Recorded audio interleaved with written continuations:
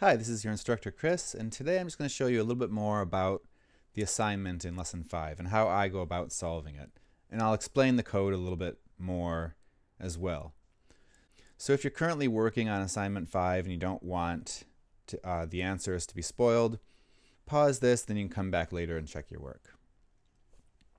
The first assignment is just to open up the code and then change the color incrementing part of the code, which is right here.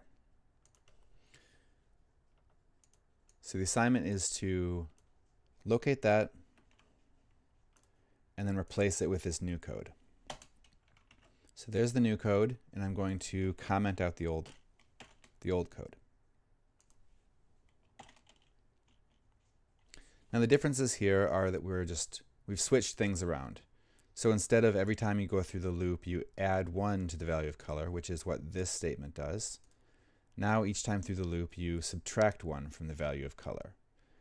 So the first time you go through, color will be set to, if color already is 0, it'll be set to light.length minus 1, which is the length of the light array, which in this case is 6. 1, 2, 3, 4, 5, 6 and then subtracts 1 to get the highest number in the light array, which is 5, which has a value of orange. So it'll be set to orange the first time through the auto flip loop, and then the next time it'll say is color greater than 0?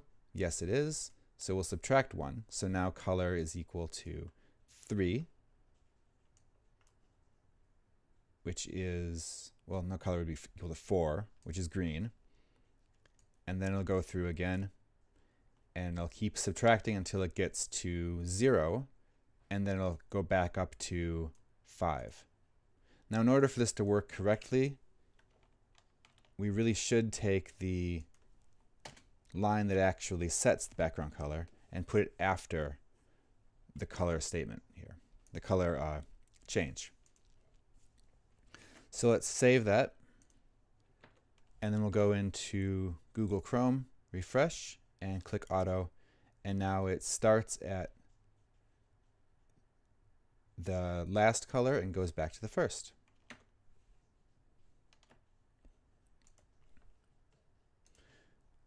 And the next assignment in the lesson 5 is to make the autoflip function only flip to every other color in the light array. Well, let's, whoops.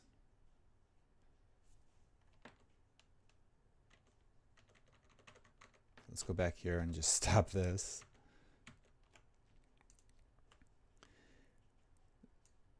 So we learned that right here, this is the color decrement statement. So the minus minus means subtract 1 from the value. And that correlates to the colors here in the light array. Now if we want to do every other color, then what we need to do is subtract 2 from the color each time through the loop, so it'll skip. So all we need to do for that is to say color equals color minus 2, or you could say color minus equal to, or you could even say color minus minus followed by another color minus minus. And that'll subtract 2 each time through. So we'll save that, and then go back to the browser, refresh, and now it'll skip colors.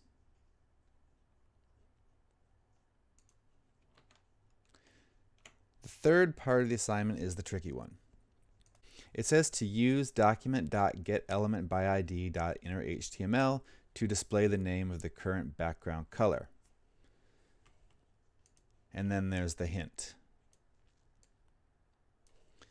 So what we're going to do is we're just going to modify an element in the document to display the current color each time that we go through a loop or when the color changes. So first, we just need to create a place in the document where we're going to display the color. Let's do it right here underneath the what's this header. And we'll put a div, and we'll call it, we'll say id equals display color. And you don't need to put anything in this div. This is what we're going to be manipulating inside of the loop. So we call it display color. And then in my hint, I said, if you use this, document get element by ID, my text dot inner HTML equals some other text, it will change the value of that um, that element to this text. So we're going to set this to the element ID that we just created, which is display color.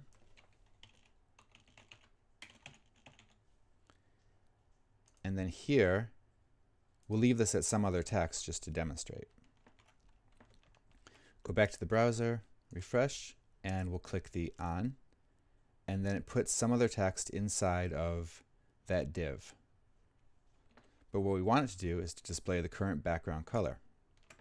So go back here and we see that right now the current background color is set using light which way.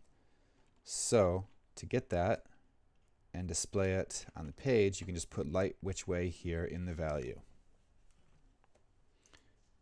And then we'll save this and go back, click on, and there it is.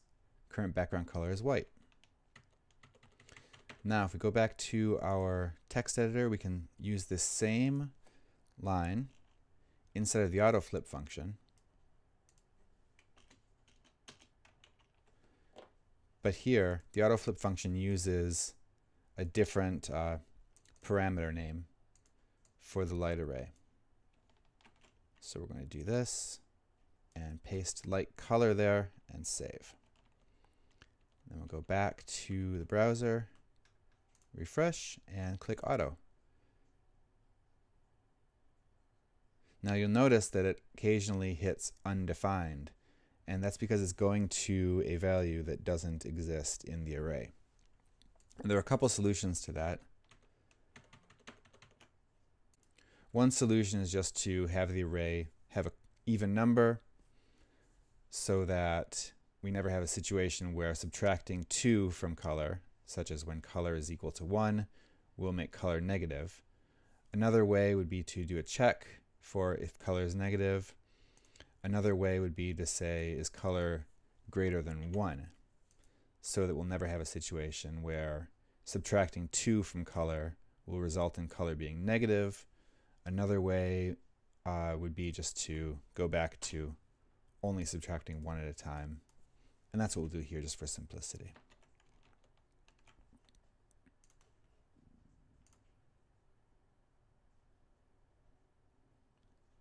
There it is. I hope this has been helpful.